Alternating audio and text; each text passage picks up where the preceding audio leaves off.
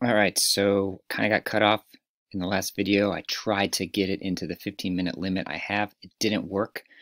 This is going to be quick, short one, but I didn't want to rush it in um, 14 seconds. So I'm going to take a couple of minutes to explain the dependent event. So we left off, I was kind of rushing through this, but um, the reason it depends on what the second marble happens to be um, is because if the uh, first marble I took out, so there's uh, eight marbles in here. If the first marble I took out was red, then this guy's gone, right? And so now there's only seven marbles left. Two of them are red. So that's uh, if the first one was red. Now, I'm going to erase that situation because the reason it depends is if the first one wasn't red, that means it was one of these other colors. So one of these other marbles, I don't know which one, is gone.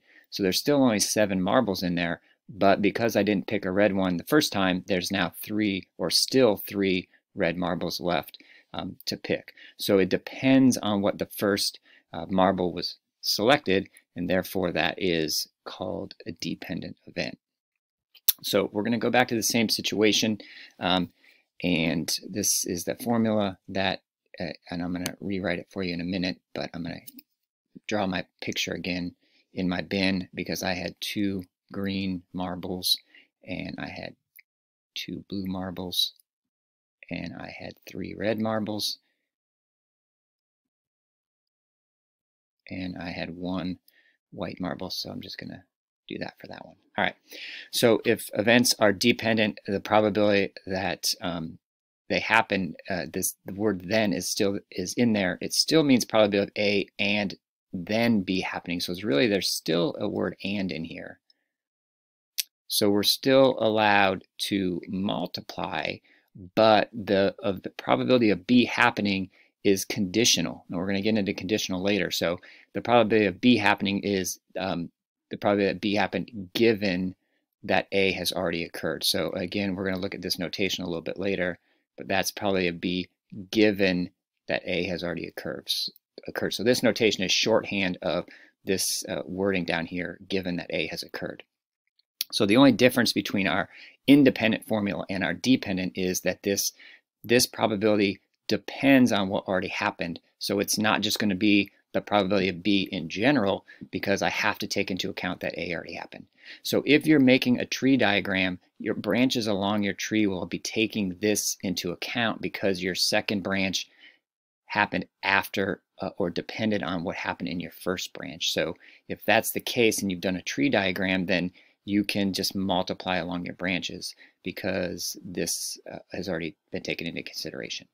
But now uh, we're going to go back and actually uh, this little marble situation isn't even what I have for my example 8.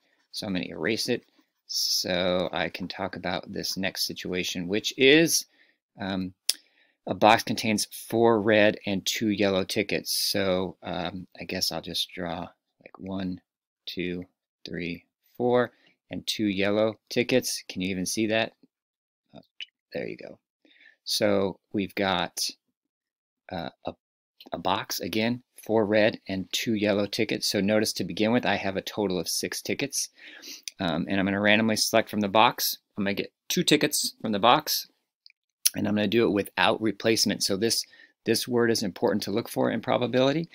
Without replacement means whenever I whatever I take out the first one, I don't put it back. So now the number of tickets I have is fewer than I had to begin with.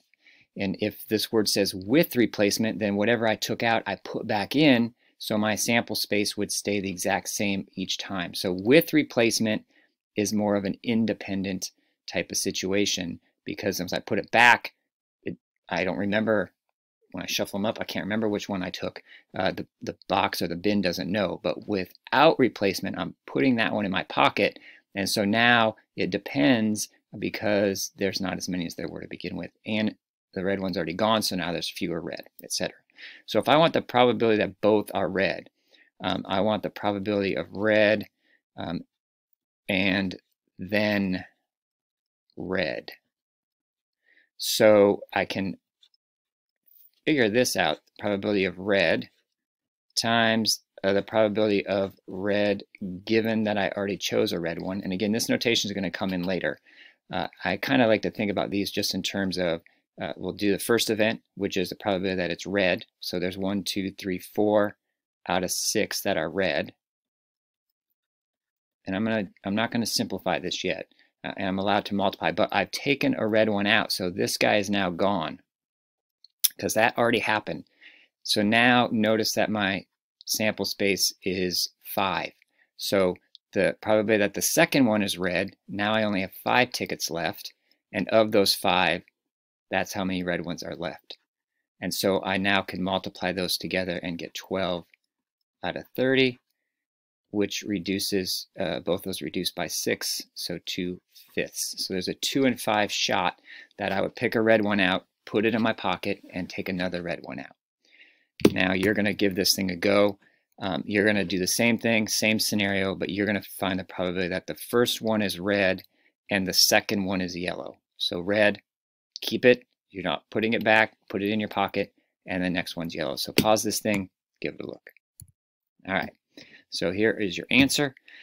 Again, probably that the first one's red is the same because there were four red tickets out of the six. Um, but remember, once I took that red ticket out, there were then uh, only five left. Uh, three were red and two were yellow. And so if that's all that's left after I put the one red ticket left, that's why there's a five in the bottom. And notice that I'm now interested in a yellow ticket. And so there are two yellow tickets uh, left in there. So red drawn first, two yellows still in there out of five. I can multiply those together and I would get um, 8 out of 30, and that reduces to 4 fifteenths. And I told you it was going to be a short video, and it's done. There you go. Probability. Here we go. Have a good one.